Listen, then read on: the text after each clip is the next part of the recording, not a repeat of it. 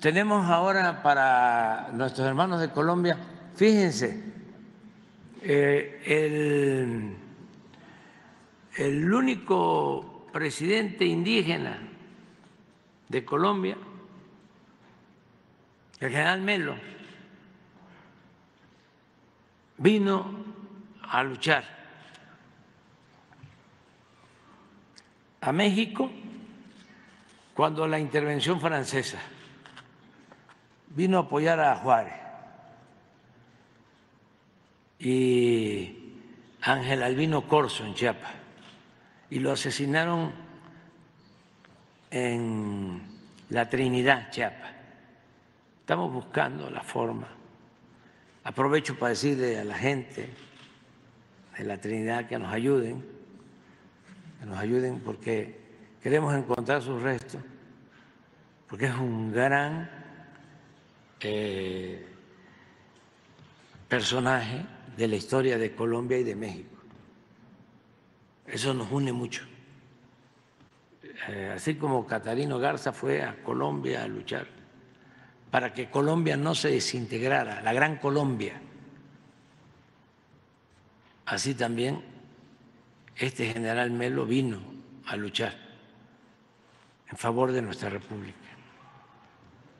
Entonces los pueblos de Colombia, ahora que fui, este, me contaron algo que lo dije en un discurso,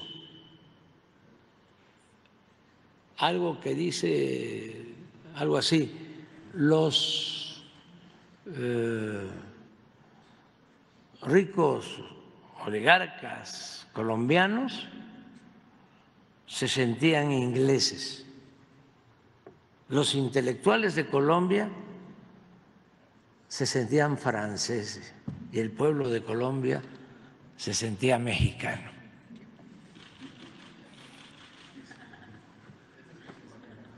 Este Melo. Y a los de la Trinitaria, Chiapas, que tengan confianza, que nos ayuden, porque también es su dirigente, aún de origen colombiano, lo vinieron a asesinar acá los conservadores, los este, reaccionarios, eh, pero fue presidente de Colombia. Y ahora estamos buscando sus restos y hay desconfianza en la comunidad. Eh, aprovecho eh, para decirles que sí estoy yo pendiente y que todo, todo se les va a cumplir si nos ayudan. Están ya permitiendo el sobrevuelo de drones de la Secretaría de la Defensa, eh, buscando. Ya nosotros avanzamos mucho en Bocas del Toro, que pertenecía a Colombia, donde fue asesinado Catarino Garza, un dirigente mexicano que luchó eh, en contra de Porfirio Díaz, un revolucionario que lanzó una proclama en contra de Porfirio Díaz llamando al pueblo de México a tomar las armas 18 años antes de que lo hiciera Francisco y Madero. A luchar en contra de Porfirio Díaz cuando estaba en su apogeo.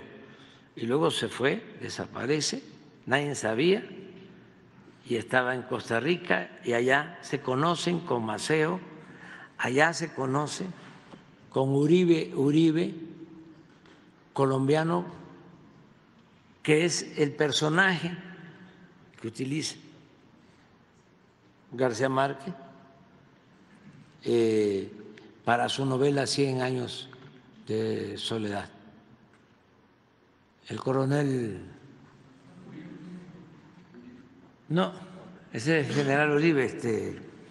Ah, Aureliano Buendía. Ah, Aureliano Buendía. O sea, existió, pero era Uribe Uribe. Entonces lo cuenta el Gabo, eso después, ya en su último texto, que se llama vivir para contarlo. Pero eh, em,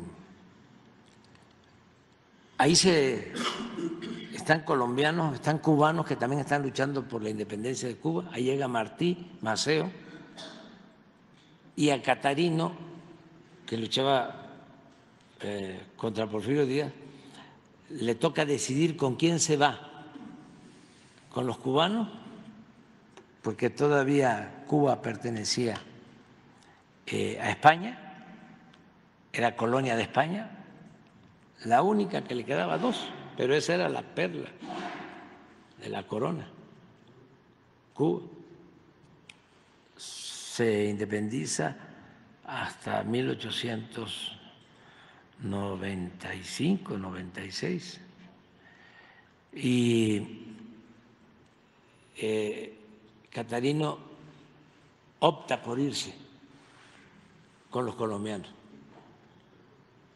Un general que no recuerdo su nombre y un gran periodista, Pereira. Y en la toma del cuartel de Bocas del Toro, ahí lo, lo asesinan y el jefe de las fuerzas conservadoras, encargado del operativo, eh, un agente muy bien formado, escribe un folleto. Como yo me dediqué a la investigación sobre el personaje, tuve la suerte de encontrarme allá en Panamá ese folleto y como siempre, ¿no? Mi libro sobre el Catarino se llama Revolucionario o Bandido. Y el que lo enfrenta, que escribe la historia, dice, no era un bandido, era un idealista. Entonces, los entierran ahí en una fosa común con Pereira, ahí en Bocas del Toro, que pertenecía antes de la independencia de Panamá a Colombia. Entonces ahora lo estamos buscando, se portó muy bien la gente de Bocas del Toro, muchas gracias al presidente de Panamá, eh, y ya eh, se trajeron los restos y se están haciendo los estudios con familiares que también están muy contentos porque Catarino era de Matamoros, Tamaulipas, pero vivió siempre en la frontera, en Texas. Y por eso lo de el general Melo sería muy bueno el intercambio de estos dos personajes que son héroes anónimos, como hay muchos, mujeres, hombres. Entonces vamos con